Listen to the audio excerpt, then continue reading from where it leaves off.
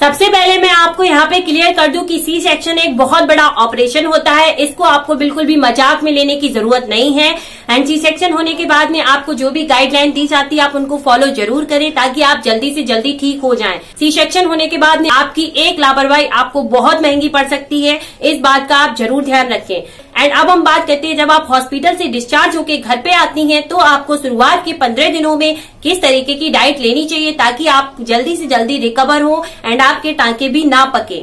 तो शुरुआत के जो पंद्रह दिन होते हैं, उनमें आपको सुबह नाश्ते में ज़्यादा से ज़्यादा दाल लेनी है, मूंग की दाल लेनी है एंड आपको ज़्यादा से ज़्यादा दलिया खाना है। दलिया आप मूंग की दाल डाल के बना लें। आप दलिया को जो है सब्ज़ियाँ भी डाल के बिल्कुल बना सकती हैं, और ध्यान रखिए सब्ज़ियाँ आप ऐसी लें जो बिल्कुल भी बादी ना हो। एंड शुरुआत में आप प्याज का सेवन बिल्कुल भी ना करें, क्योंकि प्याज जो है बहुत ज़्यादा गैस बनाता है।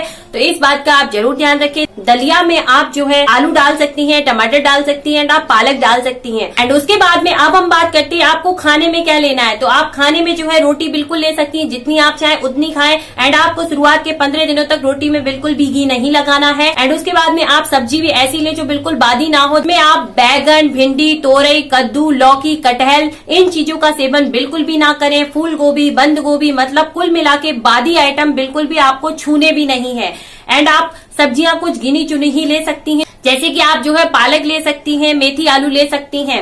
और ध्यान रखें कि आपको शुरुआत के पंद्रह दिनों तक सब्ज़ी में बिल्कुल हल्का सा ऑयल डालना है। आप मूंग की दाल लें एंड आप खड़े मसूर की दाल लें, छिलके वाली एंड आप मसूर की दाल ले सकती हैं। बिना छिलके वाली एंड आप मूंग की धुली दाल ले सकती हैं। ध्यान रखिए, शुरुआत के पंद्रह दिनों तक आपको जो है दाल में घी या तेल बिल्कुल भी यूज़ नहीं करना है, क्योंकि इससे आपके टांके पकने का बहुत ज़्यादा डर रहता है। उसके बाद में आप जो है सलाद बिल्कुल ले सकती हैं। सलाद में आप खीरा ले, चुकंदर, टमाटर, लेकिन ध्यान रखें खीरा और चुकंदर अगर सूट करता है, उससे खांसी जुकाम नहीं होता है, तभी आप लें अदरवाइज़ आप बिल्कुल भी ना लें। एंड उसके बाद में आप जो है सी सेक्शन होने के पंद्रह दिन तक आप दूध बिल्कुल पी सकती हैं, लेकिन ध्यान रखें दूध में आपको एक परसेंट भी मलाई नहीं रखनी है। दूध आप बिना मलाई का ही लें। दूध आप जब भी लें, मलाई उतार के उसमें आप प्रोटीन एस पाउडर डाल के बिल्कुल ले सकती हैं, कोई दिक्कत वाली बात नहीं है।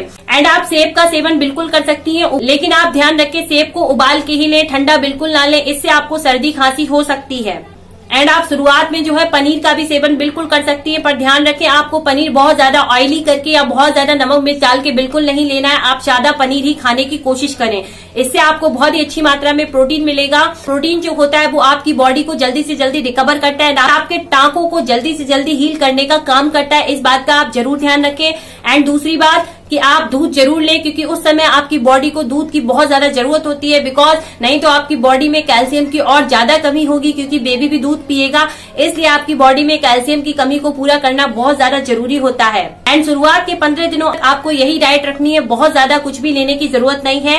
एंड जब आपके पंद्रह से बीस दिन हो जाए और आपके टाके कट जाए, उसके बाद में जो आपको डाइट लेनी है फिर आप क्या करें? आप अपने लिए हरीरा बिल्कुल बना सकती है, कोई दिक्कत नहीं होती। आप जितनी मेवा चाहे, वो डाल सकती हैं। गरी मखाने, छुआरे किसमिस चिरौंदी, जो भी आपको पसंद है, बिल्कुल डालिए। आप उसमें सोंठ, अजवाइन, जीरा, हल्दी बिल्कुल डाल सकती है, कोई दिक्कत वाली बात नहीं होती। और ध्यान रखें कि आप जो हरीरा बनाए, वो चीनी का बिल्कुल भी ना बनाए। आपको उसमें सिर्फ़ और सिर्फ़ गुड़ यूज़ करना है। चीनी गलती से भी आपको खाने की ज़रूरत नहीं है। एंड उसके बाद में एक बात और ध्यान रखिए कि आपको हरीरा में बहुत ज़्यादा तेल नहीं डालना है। ये आपके लिए बहुत ज़्यादा नुकसानदायक होगा। तो आप हरीरा में बिल्कुल हल्का ही तेल डालें। अगर आपको हरीरा पसंद नहीं है तो आप मेवा के लड्डू बना सकती हैं। कोई दिक्कत वाली बात नहीं, याद रखिए, उसमें भी आपको घी बहुत ज़्यादा नहीं डालना है और आप मेवा अपने मनपसंद डाल सकती हैं और हरीरा बनाए या फिर मेवे के लड्डू बनाए। तो उसमें जो है आप गोंद ज़रूर डालें। गोंद जो है आपके जोड़ों में दर्द, पीठ में दर्द, कमर में दर्द, इनमें बहुत ज़्यादा हेल्प करता है। और मैं आपको ये सजेशन ज़रूर दूँगी कि आपको हरीरा भी ज़रूर खाना चाहिए, स्पेशली शुरुआत में। यह आपके लिए बहुत ही ज़्यादा फ़ायदेमंद होता है, क्योंकि लड्डू एक अलग चीज़ हो गई एंड हरीरा एक अलग हो गया। ठीक है? तो दोनों का ही अपना अपना महत्व होता है तो आप हरीरा का भी सेवन ज़रूर करें। आपको हरीरा जो है स्टार्टिंग में एक छोटी कटोरी ही खाना है दूध के साथ। जैसे जैसे आपका टाइम बढ़े तो आप दो कटोरी भी ले सकती हैं। एक कटोरी छोटी सी सुबह ले लीजिए एंड एक कटोरी शाम को ले ले। बट ले ज़रूर। आपको ये बिल्कुल अवॉइड नहीं करना है। पंद्रह से बीस दिन के बाद जो आपकी शुरुआत की छह महीने तक जो डाइट रहेगी, उसमें आपको एक बार ध्यान रखना है। आपको तली चीज़ें, बादी चीज़ें, ठंडी चीज़ें बिल्कुल नहीं खानी है। क्योंकि ये सिर्फ़ आपको ही नुकसान नहीं करेंगे, बल्कि बच्चे को भी बहुत नुकसान करेंगी। क्योंकि डिलीवरी होने के बाद में बच्चे का जो डाइजेस्टिव सिस्टम होता है, उसको धीरे धीरे विकसित होने में काफ़ी टाइम लग जाता है। इसलिए बच्चा कोई भी बादी आइटम, तले आइटम नहीं पचा सकता इस बात का आप ज़रूर ध्यान रखें।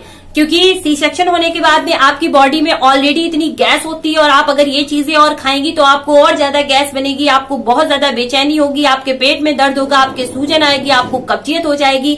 तो इन चीज़ों से बिल्कुल बचे, क्योंकि आपको मैं एक बात क्लियर कर दूँ कि बाहर के टांके तो एक से डेढ़ महीने में सही हो जाते हैं, लेकिन अंदर के टांकों को छह महीने का टाइम लगता है अच्छे से हील पूरी तरीके से रिकवर होने में तो इस बात का ज़रूर ध्यान रखें। सबसे इम्पोर्टेंट बात कि आपको ऑपरेशन होने के तीन से चार दिन के बाद में आप जो है गर्म पानी अजवाइन डाल के लेना स्टार्ट कर दें, इससे आपको बहुत सारे फ़ायदे होंगे। सबसे पहला फ़ायदा कि आपका मिल्क बहुत अच्छा बनेगा। दूसरा फ़ायदा आपकी बॉडी में गर्माहट रहेगी। एंड तीसरा फ़ायदा कि अगर आप इस बीच थोड़े बहुत चावल भी खाती हैं तो आपको बिल्कुल भी सर्दी खांसी नहीं होगी। चौथा फ़ायदा कि आपका जो पेट है वो जल्दी से जल्दी कम होगा। और एक बात और ध्यान रखें सी सेक्शन होने के तीन से चार दिन तक चावलों का सेवन गलती से भी ना करें। और अगर आप डायबिटीज़ के पेशेंट है तो, तो आप चावल बिल्कुल भी ना छुए उसी में आपकी भलाई है। एंड तीन से चार दिन के बाद आपको जो चावल लेने हैं, वो ब्राउन राइस ही चावल लेने हैं और ध्यान रखें, एक कटोरी से ज़्यादा चावल का सेवन ना करें। एंड शुरुआत के छह महीने तक आपको कुछ गिनी चुनी ही सब्ज़ियाँ खानी है एंड गिनी चुनी ही दालें खानी है, ताकि आपके पेट में गलती से भी सूजन, कब्ज एंड पेट दर्द एंड गैस किसी भी प्रकार की शिकायत ना हो। आप इस बात का ज़रूर ध्यान रखें। और आप जो है ज़्यादा से ज़्यादा तरल पदार्थों का सेवन कर सकती हैं। इसमें आप नारियल पानी ले सकती है, मट्ठा ले सकती है बट आप ध्यान रखें, अगर आपको ये सूट करते हैं, आपको सर्दी खांसी नहीं होती है, तभी आप ले अदरवाइज़ आप इनको बिल्कुल भी ना ले। इसी सेक्शन होने के बाद में आप जब भी भोजन करें, ज़्यादा से ज़्यादा चबा कर ही भोजन करें, और दूसरी बात, आपको भोजन एकदम से इकट्ठा ना खाएँ स्पेशली शुरुआत के एक से डेढ़ महीने आप थोड़ा थोड़ा ही खाएँ, कम से कम पाँच से छह बार लें, ताकि आपका जो है खाना आसानी से डाइजेस्ट हो जाए। एंड शुरुआत में आप जल्दी से जल्दी रिकवर होने के लिए अच्छी सी नींद ज़रूर लें। ये भी आपको बहुत हेल्प करेगी आपकी बॉडी को रिकवर होने में।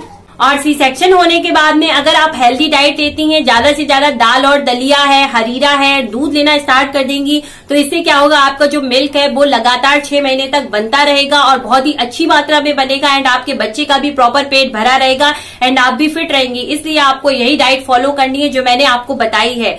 एंड अगर आप इतना करती हैं तो आपको कोई भी प्रॉब्लम नहीं आने वाली है। एंड आप कोशिश करें सी सेक्शन होने के बाद में जहाँ तक हो सके आप थोड़ा सा टहलने की कोशिश करें धीरे धीरे ताकि आपके जो टाके हैं, वो जल्दी से जल्दी हील हो। इस बात का आप ज़रूर ध्यान रखें। एंड आप सी सेक्शन होने के बाद में ज़्यादा से ज़्यादा आराम ज़रूर करें। और आप बैठी ना रहें, इस बात का भी आप ध्यान रखें। आपको शुरुआत के छह महीने तक ही परहेज वाला खाना खाना होता है, उसके बाद में आप अपनी डाइट में धीरे धीरे हर चीज़ चालू कर सकती हैं और एक बात ध्यान रखें कि छह महीने के बाद अगर आप कोई भी बादी आइटम स्टार्ट करें खाना तो पहले बिल्कुल जरा सा खाएँ एंड उसके बाद में बच्चे को दूध पिलाएँ। उसके बाद में आप देख लें कि आपको नुकसान तो नहीं कर रहा है बच्चे को ना नुकसान करे, तभी आप उसको और ज़्यादा बढ़ाएँ। अगर नुकसान कर रहे तो आप उसको वहीं की वहीं रोक दें। और एक बात और ध्यान रखें कि आपको सी सेक्शन होने के तुरंत बाद खट्टे फलों का सेवन ज़्यादा नहीं करना है।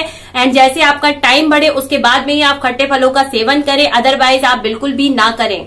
और सबसे इम्पोर्टेंट बात डॉक्टर द्वारा जो आपको आयरन और कैल्शियम की सप्लीमेंट दिए जाते हैं, उनका सेवन आप शुरुआत के छह महीने ज़रूर करें, क्योंकि उस समय आपकी बॉडी को बहुत ज़्यादा ज़रूरत होती है कैल्शियम और आयरन की, और बेबी भी दूध पीता है, इसलिए आपकी बॉडी को और ज़्यादा रिक्वायरमेंट बढ़ जाती है, जो कि सिर्फ़ खाने से पूरी नहीं होती है तो आपको इनको बिल्कुल अवॉइड नहीं करना है। एंड इन सारी बातों का आप ज़रूर ध्यान रखें एंड मेरी तरफ़ से बेस्ट ऑफ़ लक एंड आप खुश रहें। और अगर आपको मेरा ये वीडियो पसंद आए तो प्लीज़ इसको लाइक करें, ज़्यादा से ज़्यादा शेयर करें, और चैनल को सब्सक्राइब करने के साथ साथ बेलाइकन ज़रूर दबाए ताकि मेरे हर वीडियो का नोटिफिकेशन आप तक ज़रूर पहुँचे। तो थैंक यू फ्रेंड्स मिलते हैं अगले वीडियो में।